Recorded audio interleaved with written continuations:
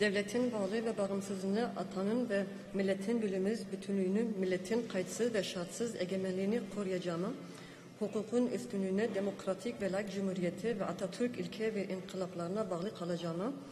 toplumun huzur ve refahı, milli ve dayan- milli dayanışma ve adalet anlayışı içinde herkesin insan haklarından ve temel hürriyetlerden yararlanması ülkesinden ve anayasa sadakatten ayrılmayacağımı, Büyük Türk milleti önünde namusum ve şerefim üzerine ant içerim.